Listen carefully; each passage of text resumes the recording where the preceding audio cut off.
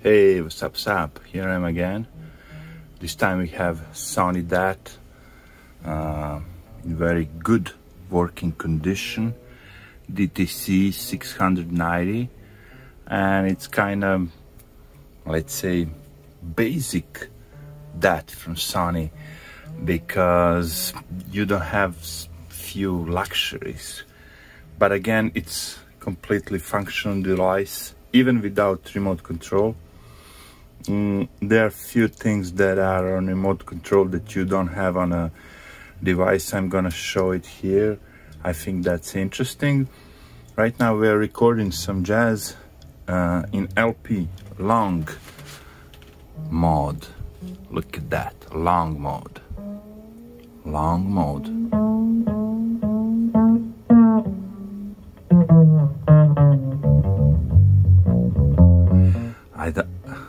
Be that it's gonna pick up copyright only for a three second sample.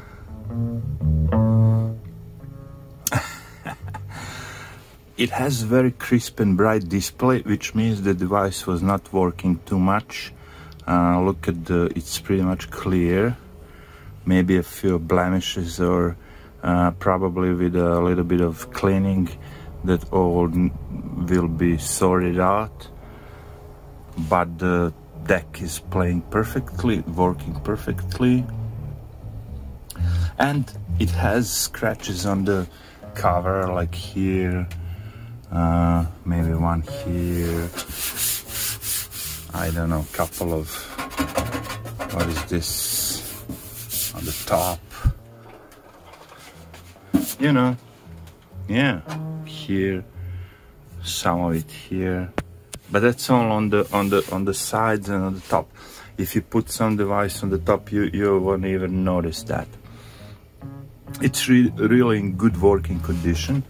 It works perfectly fine. That's why I'm recording this tape on it.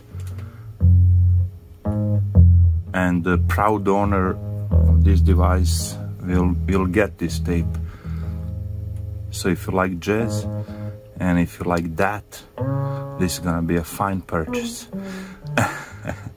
Now let's talk about what's missing on this uh, let's say basic Sony DAT if we compare it with uh, some of, it, of these a little bit more advanced Sony DAT you see this is kind of older model. DTC 700 even if it's if it looks it's just a little bit up it's it's the older model but better. And this is newer and also better model 59es on both of devices you have a counter mode. Absolute time program time remaining and I don't know what is this. Absolute but anyway you have four. Here when you press on counter mode you have three one two three one, two, three. So you don't have a program time. You don't know exactly uh, the track number 24. Is it like a five minutes, six minutes? So if you are freak, you want to see your time on the on the that uh, the the track playing time. This is not a DAT for you if you are a freak about that if you are a listener who just wants to play and, and, and you know like listen to the whole thing or skip couple of the tracks or something this is the perfect DAT for you. I have to mention that. The other thing I have to mention with this device if you don't have a remote control is this uh, margin. You see the margin? So when you're recording analog source, as I'm doing right now, I'm using my CD player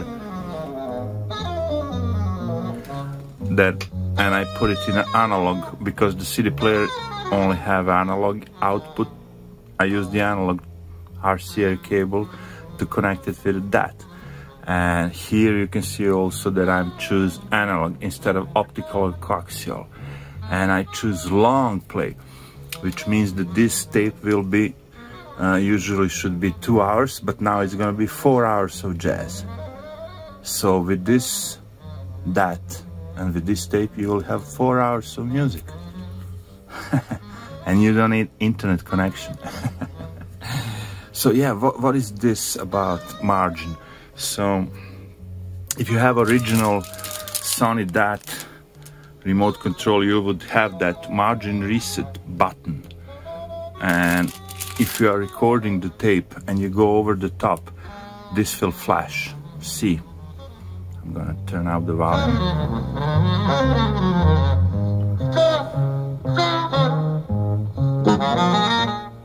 And now it's gonna keep flashing for the rest of the life. Unless you have this remote. And you can press on margin reset and reset that margin. Puff. Now we are back in the game again. Oh, it's it's over again. Let's reset it again. Margin reset. Puff. So that's it with the remote control. And if everything is work fine, it's gonna index this track as 25th, the next one. Why? Because I put it in auto in the, oh, it's 25th. Perfect. Now look at the margin. 5 decibel, mine 5.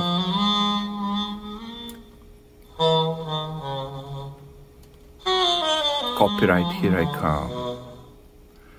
But basically, it it's the best thing it, if you can make it to be 0.5 or 0 but if it goes over it's gonna flash. And if you don't have remote it's gonna be if you have OCD and you don't have remote it's gonna be very stressful. That's why I'm selling this remote control on eBay for 100 200 bucks because it's brand new.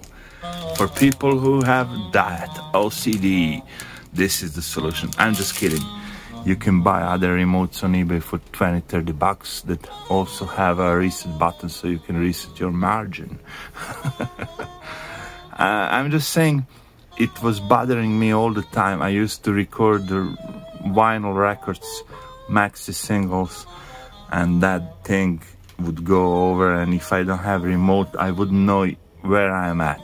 I like to see minus 1.5. I like to see that. You know what I mean? Yeah, basically it's a great unit. So I'm gonna list it on eBay because it's perfectly serviced and I tested it and I did recorded a couple of tapes on it and I played tapes from the Panasonic units and I played tapes from the Tascam units. I have Tascam. Yeah, it's here. There are two here so I have it, I have it. I have other Sony units, everything work, working fine. This thing is ready to be used for many years and it looks good.